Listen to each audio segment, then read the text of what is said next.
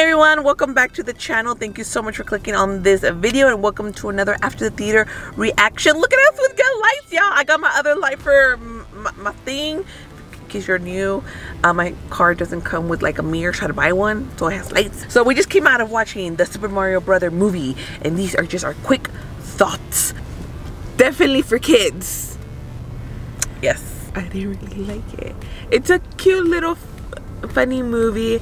Just For the children. just for the children, not for grown people. I like Seth Rogen. yeah, he's Donkey Kong. Jack Black with that one song.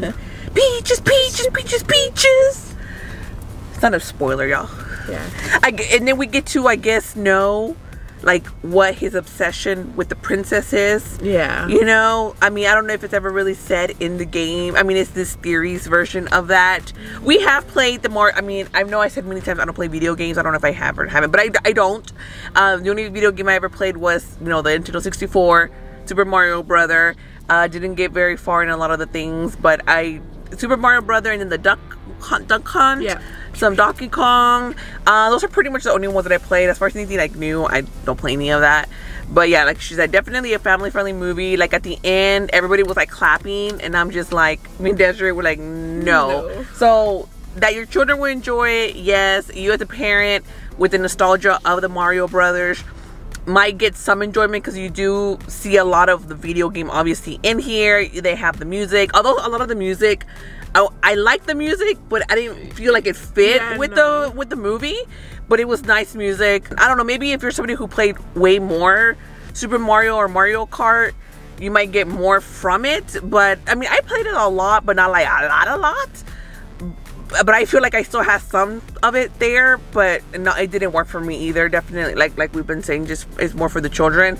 They will for sure love it. I mean, they were laughing like a lot. It looks really nice. The animation is really Yeah. nice. The voice acting for the most part, I guess, was okay. I mean, Chris Pratt was always like, I don't know what the hell we're gonna do with him and Mario, with the whole like Italian accent. Like, Mamma mia, like what?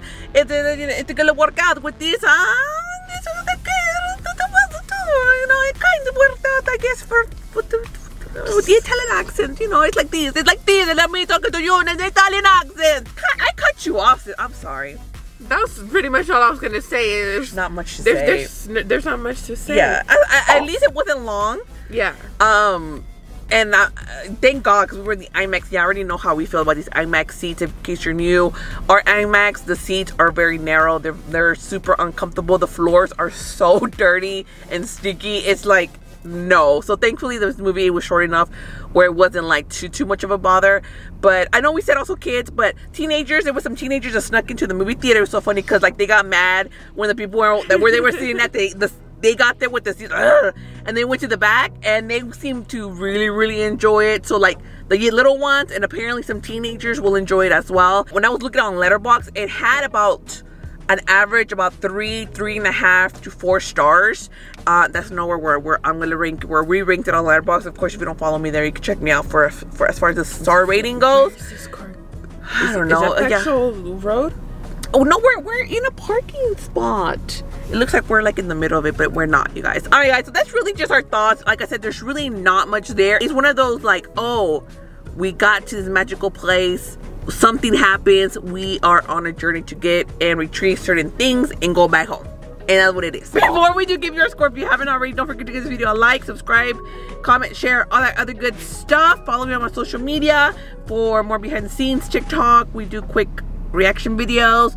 We'll see what kind of faces she did throughout the video because I know I never see them a until after. What are you ranking it? Small. I'm giving it a small as well. If you've seen the Super Mario Brother movie, let us know down below. What did you think about it? Did you like it? Did you hate it? Was it just not for you? Are you planning on checking it out with your family?